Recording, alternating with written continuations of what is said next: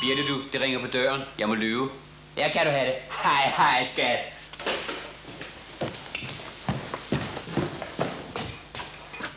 Et øjeblik, så skal jeg være der. Hvad? Ja, det er skrivemaskinereparatør. Nå, der er det. Det var dejligt, det endelig kunne komme. Er vi hurtige?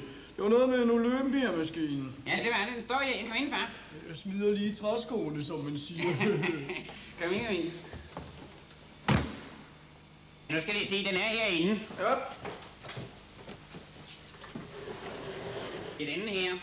Ja, de kan se, at når man trykker på uget hernede, så går den op og låser op i de pinde, som er heroppe. Og så er det samme, det gælder i virkeligheden for tabulaturet. Det har sat sig fuldstændig fast. I mange måder, så kan man sammenligne det med, at muren griber ud efter sin ske, og jeg griber så ud efter min skrivemaskine.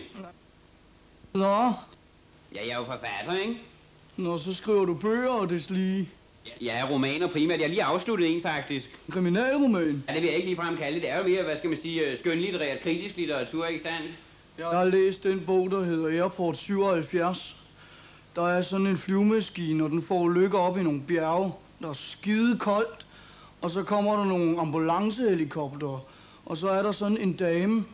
Hun bliver klemt fast under nogle sæder.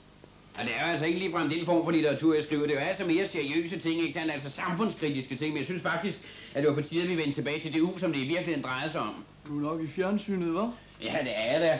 Det, øh, de sender nogle programmer derindefra, altså litteraturprogrammer, hvor seriøse forfattere er inde og blive interviewet omkring deres arbejde. Og så var jeg derinde for en, for en små 14 dages tid siden, og så, så sender de det altså nu, ikke sandt? Altså, summa summarum, altså sagen er, at vi sidder simpelthen og sover, mens vi, vi venter på katastrofen, ikke?